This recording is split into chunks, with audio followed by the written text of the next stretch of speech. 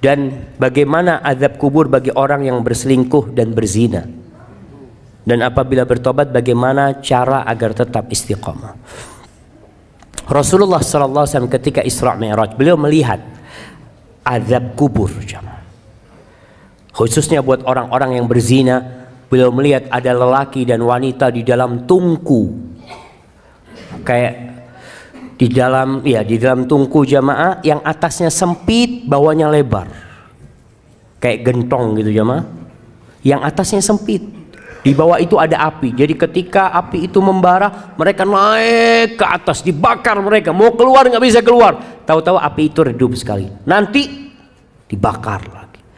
Karena orang berzina biasanya nafsunya naik kemudian turun. Seperti itu dibakar terus sampai kiamat. Antum bisa bayangin, antum punya jari.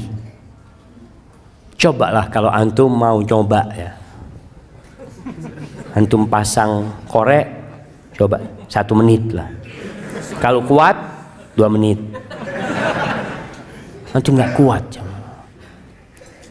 Orang-orang yang kurang imannya, mereka lah yang akhirnya melakukan dosa zina. Sehingga Nabi SAW mengatakan la yazni zani wa huwa mu'min. Tidaklah seorang berzina dalam kondisi berzina dia beriman. Imannya itu keluar aja. Ketika dia melakukan perzinahan itu. Karena kalau dia beriman, dia dilihat sama Allah Azza wa Jal ketika melakukan perzinahan itu. Dan Allah murka dengan perbuatan itu. Ingat jemaah ada suatu hari yang semua akan dibongkar. Walaupun istrimu nggak tahu, suamimu nggak tahu, orang satu kampung nggak tahu, tapi Allah tahu dengan perbuatan tersebut.